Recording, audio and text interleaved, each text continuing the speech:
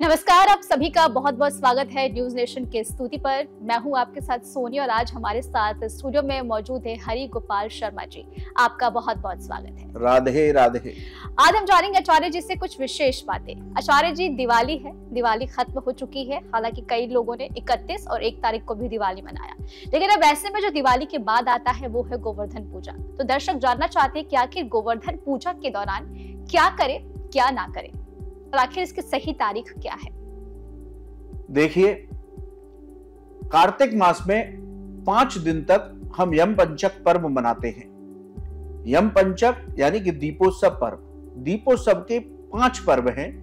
ये धन त्रयोदशी से धनतेरस से शुरू होते हैं और भाई दूज पर जाकर समाप्त होते हैं। दीपोत्सव पर्व का चौथा पर्व है गोवर्धन पूजा पर्व, अन्नकूट महोत्सव पर्व। इस बार यदि इस पर्व को मनाने की बात कहें तो यह पर्व कार्तिक मास के शुक्ल पक्ष की प्रतिपदा तिथि को मनाया जाता है। इस साल एक नवंबर को शाम छह बजकर सत्रह मिनट से प्रतिपदा तिथि शुरू होगी और दो नवंबर को रात आठ बजकर बाईस मिनट तक प्रतिपदा रहेगी। इसलिए इस साल दो नवंबर को गोवर्धन पूजा का पर्व अन्नकूट महोत्सव पर्व मनाना बेहद शुभ होगा। अब यदि पूजा के मुहूर्त की बात करें तो कार्तिक मास में सभी पूजाएँ प्रदोष काल में की जाती हैं। तो गोवर्धन भगवान का भी पूजन प्रदोष काल में आप शाम साढ़े छह बजे से लेकर आठ बजकर के उन्नीस मिनट तक इस मुहूर्त में आप पूजा करते हैं तो आपको बेहद शुभ फलों की प्राप्ति होगी। अब बात करते हैं कि ये गोवर्धन पूजा पर्व है क्या। भगवान कृष्ण ने कार्तिक मास के शुक्ल पक्ष की प्रतिपदा तिथि को ब्रजवासियों से गोवर्धन पर्वत की पूजा कराई। यह भगवान कृष्ण की एक ऐसी लीला है, जिसमें भगवान कृष्ण ने स्वयं का पूजन स्वयं किया है। यानी कि भगवान कृष्ण ने गोवर्धन पर्वत को अपना स्वरूप प्रदान किया। इंद्र का मान मर्दन इस लीला के माध्यम से किया। सभी लोगों को प्रकृति पूजा, पशु पूजा का संदेश दिया। यह भगवान की एक ऐसी लीला थी। इसमें भगवान ने इंद्र के मान मर्दन करने के लिए गोवर्धन पर्वत को अपने उंगली पर सात दिन तक उठा करके रखा। और उसके बाद जब इंद्र हार गया, तब भगवान कृष्ण ने सभी ब्रजवासियों से कहा कि आज आपकी रक्षा किसने की? इस गोवर्धन पर्वत ने की। इसलिए ये गोवर्धन पर्वत की वजह से ही आपके यहाँ बारिश होती है। आप ये मत सोचिए कि इंद्र की वजह से बारिश होती है, क्योंकि इस पर्वत पर इतना रमणीय, इतनी प्रकृति है कि ये बादलों को लेकर के आती है और यही वर्षा कराती है। यानी कि भगवान प्रकृति पूजा का संदेश दे रहे हैं, पेड़ लगाने का संदेश दे रहे हैं। तो भगवान ने सभी ब्रजवासियों से कहा कि आज से हम गोवर्धन पर्वत की पूजा करेंगे।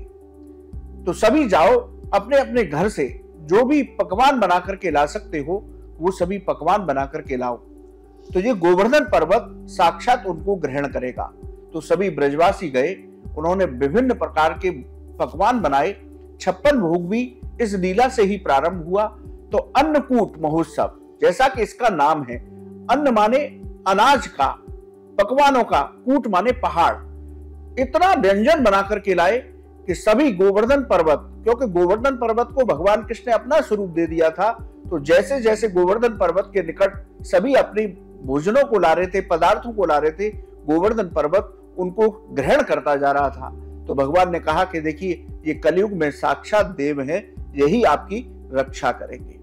तो भगवान ने प्रकृति पूजा, पशु पूजा का संदेश इस लीला के माध्यम से दिया। इसलिए हम कार्तिक मास की शुक्ल पक्ष की प्रतिपदा तिथि को गोवर्धन पूजा का पर्व मनाते हैं। अब यदि पूजा विधि की बात करें तो पूजा विधि क्या है? कि आप सूर्योदय से पहले स्नान करें, व्रत संकल्प लेकर ही पूजा करें।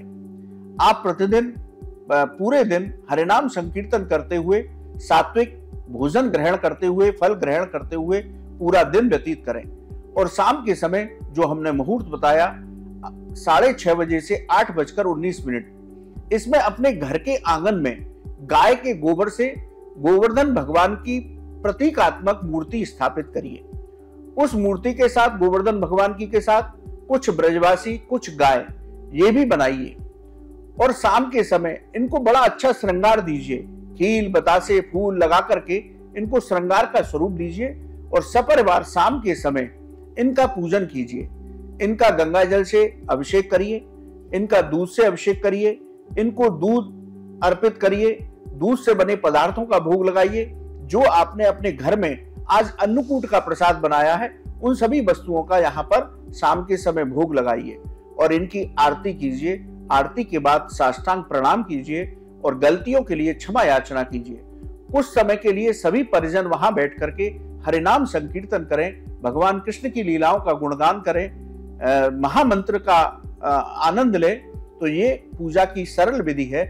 शास्त्र कहते हैं, और भगवान कृष्ण ने भी कहा कि जो लोग कलयुग में गोवर्धन भगवान की पूजा करेंगे, उनकी परिक्रमा करेंगे तो उनको सभी सुखों की प्राप्ति होगी, उनके सभी पाप कर्म नष्ट होंगे, और अंत समय पर वो वो व्यक्ति मेरे गोलोक धाम में स्थान प्राप्त करेगा। तो शास्त्रों में गोवर्धन पूजा की बहुत महिमा बताई गई। इस पूजा से सभी मनोरथ पूर्ण होते हैं। तो फ़िलहाल ये थी जो बातें जो दर्शक जानना चाहते थे तो जो भी गोवर्धन पूजा करने जा रहा है वो इन खास बातों का ज़रूर ध्यान रखे। फ़िलहाल इस खबर में अभी के लिए इतना ही। आपको हमारा वीडियो कैसा लगा हमें आप कमेंट करके ज़रूर बताएँ। और हमारे चैनल को सब्सक्राइब करना ना भूलें। न्यूज़ नेशन अब व्हाट्सएप पर। खबरों के ताज़ा अपडेट के लिए न्यूज़ नेशन के इस क्यूआर कोड को स्कैन करें।